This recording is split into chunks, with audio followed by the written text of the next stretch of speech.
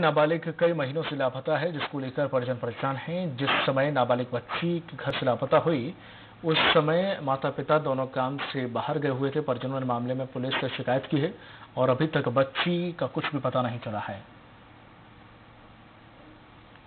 जो है चार पाँच दो हज़ार उन्नीस से लापता है घर से।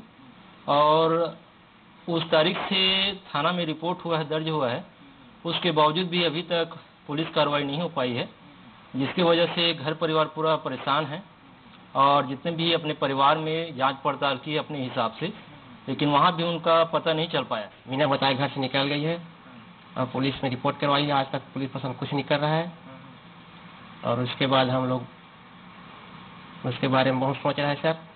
कुछ नहीं कर रहा है पुलिस प्रशासन। आज तक की अभी कोई जानकारी नहीं हुआ है। पुलिस थाने में जाकर एक दो बार मैं अपने स्तर पे मैं जानकारी रखा था अभी तक की कोई जानकारी नहीं मिला है। करके जानकारी मुझे बताए लेकिन अभी लगभग एक माह हो रहे हैं ना।